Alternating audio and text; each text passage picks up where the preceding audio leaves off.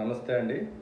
Welcome to orange news room ఈరోజు world population day world population అంటే present ఇప్పుడు మన ప్రపంచ జనాభా చూసుకుంటే దగ్గర దగ్గర ఎనిమిది వందల కోట్ల జనాభా ఉందండి.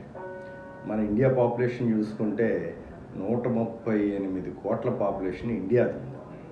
చైనా చూసుకుంటే నూట నలభై మూడు కోట్ల పాపులేషన్ ఉంది. అంటే చైనాకి మనకి కేవలం ఐదు కోట్ల పాపులేషన్ మాత్రమే డిఫరెన్స్ ఉంది. కానీ భూభాగంలో చూసుకుంటే చైనా మనకంట నాలుగు రెట్లు పెద్దది. యుఎస్ పాపులేషన్ చూసుకుంటే సుమారు ముప్పై కోట్లు ఉంటుంది. ఇలా చూసుకుంటే ప్రపంచంలో thirty forty percent population China and ఇండియాలోనే ఉన్నాయండి. అంటే మన ఏషియన్ కంట్రీస్లోనే ఉన్నాయి. ఇంత పెద్ద పెద్ద దేశాలైన రష్యా ఆస్ట్రేలియా ఇవన్నీ చూసుకుంటే మన ముంబై పాపులేషన్ మహారాష్ట్ర ఈ- ఈ పాపులేషన్ లెక్కే ఉంటాయి చాలా తక్కువ అనమాట ఎందుకు ఇండియాలోనే ఎంత ఎక్కువ పాపులేషన్ ఉందంటే ఇక్కడ వాతావరణం పరిస్థితులు. ఇక్కడ వాతావరణం పరిస్థితులు కూడా పాపులేషన్ని ఎక్కువగా ఉండడానికి కారణం అవుతుంది తర్వాత వరల్డ్లోనే హైయెస్ట్ యూత్ ఉన్న కంట్రీ కూడా ప్రజెంట్ ఇండియాయే సుమారు thirty five percent of the పాపులేషన్లో youth ఉన్నారు. ఇప్పుడు చైనా చూసుకుంటే ఇన్ని కోట్ల మంది ఉన్నా వాళ్ళకి యూత్ లేరు. ఎందుకంటే వాళ్ళు ఒకే బిడ్డతో ఆపేయడం వల్ల వాళ్ళ పాపులేషన్ తగ్గిపోయింది. చైనా పాపులేషన్ తగ్గిపోయి ముసలి వాళ్ళు పెరిగిపోయి యూత్ తగ్గిపోయారు. ఇప్పుడు వాళ్ళు మళ్ళీ మనం చైనా వాళ్ళు మనం మన వాళ్ళు చైనా వాళ్ళు డోక్లంలో సిచ్యువేషన్ అవనివ్వండి ఈ ప్యాంగ్వాన్ సరస్సులో జరిగిన సిచ్యువేషన్ అవ్వండి లడాఖ్లో జరిగిన సిచ్యువేషన్లో అవ్వండి ఒక కొంతమంది మన వాళ్ళు వాళ్ళని చంపేయడం జరిగింది. అంటే సుమారు నూట ఇరవై మంది చైనా సైనికులు మన చేతుల్లో హతమయ్యారు. వాళ్ళందరూకి పేరెంట్స్కి ఆ సైనికులు ఒక్కొక్క పిల్లలే అనమాట ఇప్పుడు వాళ్ళకి ఎంత బాధగా ఉంటుంది. అదే ఇండియాలో చూసుకుంటే యూత్ చాలా ఉన్నారు. ఒక్కొక్క ఒక్కొక్కరికి ఇద్దరు కూడా ఇండియాలో ఉన్నారు. కనుక పాపులేషన్ పరంగా యూత్ పరంగా చూసుకుంటే ఇండియా చాలా బాగుంది. ఎందుకంటే ఎప్పుడు యూత్ ఉన్నారో ఆ దేశం మాత్రమే అభివృద్ధి చెందుతుంది. ముసలి వాళ్ళు ఉన్న దేశం అభివృద్ధి చెందదు. అంటే అభివృద్ధి చెందదని కాదు అభివృద్ధి కుంటుపడుతుంది. యూత్ అంటే కొత్త కొత్త టెక్నాలజీస్ కనిపెడతారు. కొత్త కొత్త ఇన్నోవేషన్స్ చేస్తారు. కొత్త కొత్త యూనివర్సిటీస్ వస్తాయి. చదువుకోవడానికి ఇన్ని అవకాశం ఉంటుంది. మొన్న ఎందుకు ఇటలీలో దేశంలో సిక్స్ పర్సెంట్ వరకు ముసలి వాళ్ళు ఉన్నారు పెద్దవాళ్ళు ఉన్నారు వృద్ధులు ఉండడం వల్ల ఈ కరోనా ఎఫెక్ట్లో వాళ్ళే చనిపోయారు అందరూ. చాలా ఎక్కువ మంది వృద్ధులే చనిపోయారు. అలా చూసుకుంటే వృద్ధులు ఉండడం మంచిది కాదండి. కానీ మన దేశం అంటే వృద్ధులు ఉండడం వల్ల ఏంటంటే ఇంకా యూత్ రావట్లేదు పుట్టట్లేదు. అలాంటి ప్రాబ్లం కూడా వస్తుంది. తర్వాత చైనాలో చూసుకుంటే ఆడపిల్లలు తక్కువైపోయారండి బాగా తక్కువైపోయారు. మన దేశంలోనే ఆడపిల్లల్ని పురిట్లోనే చంపేస్తున్నారు అని ఇలాంటి కాన్సెప్ట్స్ ఉన్నాయి కానీ చైనాలో మనకి కంట చాలా ఎక్కువ. ఇప్పుడు చైనాలో థర్టీ థర్టీ ఫైవ్ ఇయర్స్ వాళ్ళకి పెళ్ళి చేసుకోవడానికి ఆడపిల్లలే దొరక్క పాకిస్తాన్ నుండి అమ్మాయిలు తీసుకెళ్ళి బలవంతంగా మ్యారేజ్ చేసుకునే పరిస్థితి వచ్చింది చైనాలో. అంటే ఆలోచించండి ఎంత ఘోరంగా ఆడపిల్లలు ఉన్నారు. తర్వాత ఈ పాపులేషన్లో ఆడపిల్లల పాపులేషన్ పెరగడం కూడా చాలా ఇంపార్టెంట్ ఇప్పుడు. తర్వాత ఇప్పుడు ఇండియాలో కూడా కొత్తగా మనం బేర్ చేయగలమా లేదా అని ఒక ఒక్క పిల్లల్నే కంటున్నారు. One baby or boy baby వాళ్ళనే కంటున్నారు. అది కాదండి. నా సలహా ఏంటంటే కంపల్సరీగా ఇద్దరు పిల్లలు ఉండాలి. అది కష్టం అనవండి కొంచెం బేర్ చేయలేకపోయినా ఇద్దరు పిల్లలు ఉండాలి. ఎందుకు యూత్లో ఇలాంటి ఆలోచన వస్తుంది? ఒక్కరినే కలాలి రెండో వాళ్ళని బేర్ చేయలేమని ఎందుకు వస్తుంది అంటే ఇప్పుడున్న స్కూల్స్ అండి. స్కూల్స్ చూసుకుంటే ఫీజులు ఎడ్యుకేషను చాలా ఖర్చు అవుతుంది. లక్షల్లో ఫీజులు వసూలు చేస్తున్నారు. ఈ ఈ రెండు ఇద్దరికైతే మనం బేర్ చేయగలమా? అదే ఒకరినైతే ఏదో విధంగా మనం వాళ్ళని పెంచేసుకోవచ్చు. ఇద్దరైతే ఈ స్కూల్ ఫీజులు కట్టడం అనండి రేపు పెద్ద చదువులు అయిన తర్వాత డొనేషన్లు కట్టడం అనండి ఇవన్నీ కష్టం అని చెప్పేసి ఆలోచిస్తున్నారు. కానీ దానివల్ల మన దేశ జనాభా తగ్గిపోతుంది యూత్ పాపులేషన్ తగ్గిపోతుంది. ఇద్దరికి ఇద్దరు ఉండాలి. ఇప్పుడు వైఫ్ అండ్ హస్బెండ్ ఇద్దరు. వాళ్ళకి ఇద్దరు పిల్లలు ఉంటే సమాంతరంగా జనాభా ఉంటుంది. వాళ్ళకి ఒకలే పిల్లలు అయితే జనాభా తగ్గిపోతుంది. ఇది మనం అందరం దృష్టిలో పెట్టుకోవాలి. ఇప్పుడు మంది నూట యాభై మూడు కోట్ల జనాభా అయినా సరే మనకి ప్రాబ్లం లేదు. మనకి ఆహార ఉత్పత్తులు అలాగే ఉన్నాయి. కొంచెం ఉద్యోగ అవకాశాలు మనకు తక్కువగా ఉన్నాయి.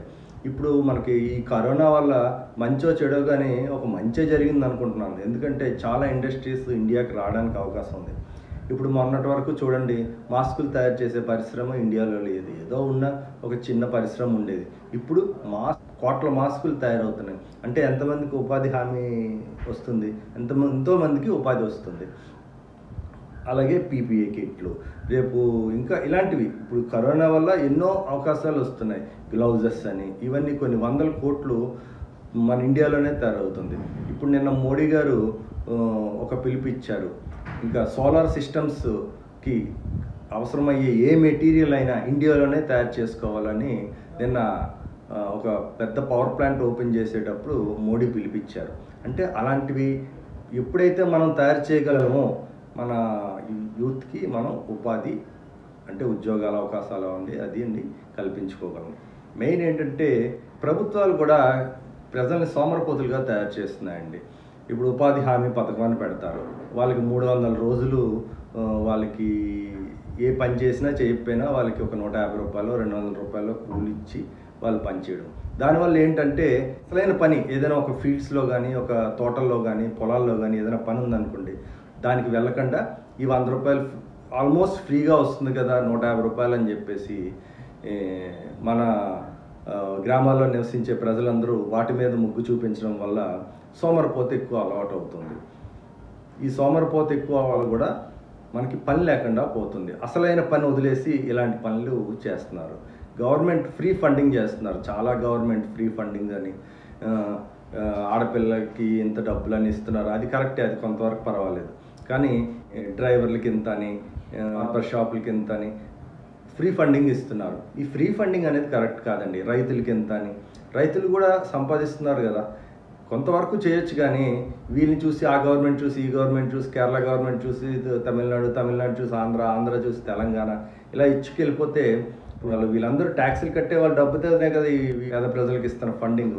దానివల్ల సో సోమరపోతులు ఎక్కువ అవుతున్నారండి. ఇంకో విషయం ఏంటంటే మనం ఆలోచించవలసింది జనాభా. జనాభా సుమారు మన దేశంలో నూట యాభై నూట అరవై కోట్లు రెండు వందల కోట్లైనా పర్వాలేదండి. జనాభాయే మీకు ఒక సామెత కూడా ఉంటుంది. దేశం అంటే మట్టి కాదు దేశం అంటే మనుషులే.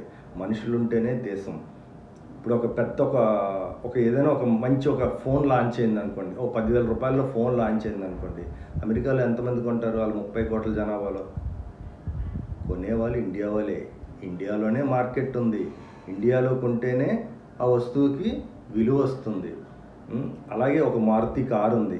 ఆల్టో కార్లు ఎన్ని సేల్ చే ప్రపంచంలో ఏ కార్లు అయినా సేల్ అయ్యే అంత లేదు. ఎందుకంటే ఇండియాలో మధ్యతరగతి పీపుల్కి ఉపయోగపడే ఆ కారు కొన్ని లక్షల కార్లు ఇండియాలోనే ప్రొడ్యూస్ అయ్యాయి. ప్రపంచంలో ఏ కార్లు కంపెనీ కూడా ఆ రికార్డుని బ్రేక్ చేయలేదు. ఒక ఫోన్ కొనాలన్నా ఒక ఇది పెద్ద మార్కెట్ ఇండియాలోనే. కాకపోతే ఆ మార్కెట్కి తగ్గ మౌలిక సదుపాయాలు అంటే ఇన్కమ్ సోర్సెస్ని గవర్నమెంట్ కల్పించాలి. దాంట్లో మనం కానీ సక్సెస్ అయితే మనకు కొంచెం జనాభా ఎక్కువైనా మనకి నష్టమేమీ లేదు.